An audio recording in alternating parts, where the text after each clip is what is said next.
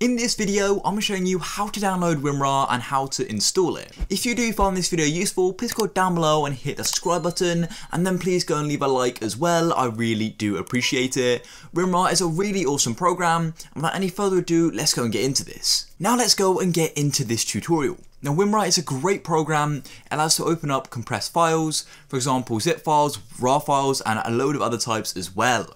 Now a quick note, I'll be also be showing you how to activate it as well, so do keep watching as you may not immediately be able to open up certain files using WinRAR, I'll be making sure you can go and do that. Now, the first thing we need to do is go and download it.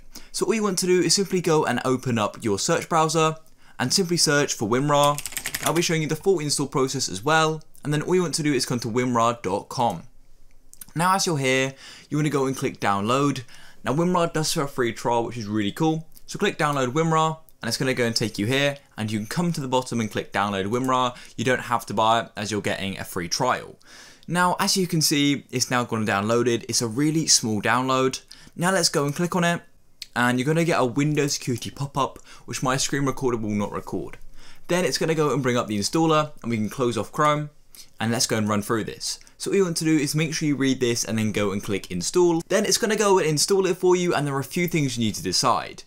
Here you need to go and decide where you associate WinRAR with. Personally, I don't associate it with jar simply because I like to run jar files. I don't want to open them up within uh, WinRAR, so I personally have that unticked, and the rest are going to be um, personal preference.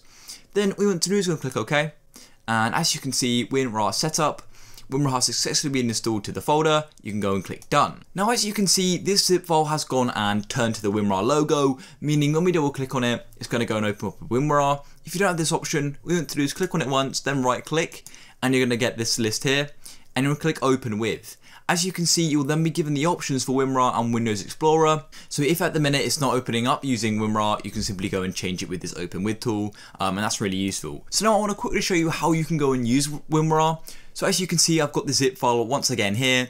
You want to click on it once and then you can right click and you've got these options here.